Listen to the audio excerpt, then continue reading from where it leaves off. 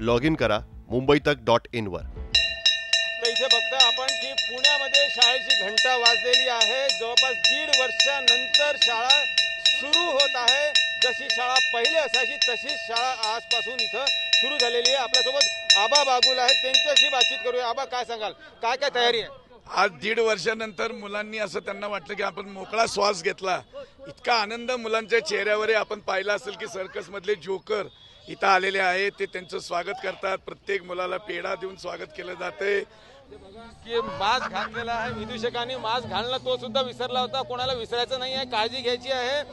शाळा सुरू झालेली आहे घंटा वाजलेली आहे. परत एकदा दीड वर्षानंतर इथं विद्यार्थी शाळेमध्ये गजबजाट करताना दिसत आहे. आणि टीचरचं म्हणणं ऐकलं तर टीचरचं म्हणणं होतं की त्यांनी सुद्धा त्यांच्या विद्यार्थ्यांना खूप मिस केलेलं आहे. जे वर्ग आहे ते रिकामे असायचे. विद्यार्थी नाही तर काही नाही. विद्यार्थीमुळे शाळा आहे असं इथं ऐकायला मिळत आहे. कॅमेरामॅन गोपाल हरणेसह पंकज खेळकर पुणे मुंबई तक.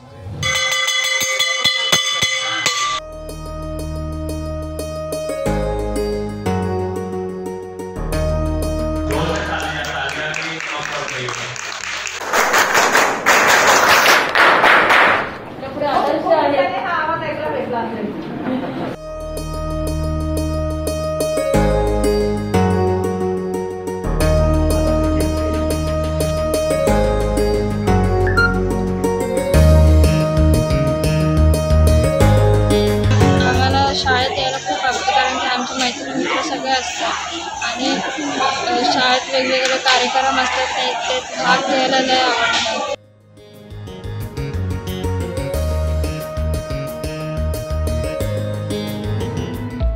लॉग इन करा मुंबई तक डॉट इनवर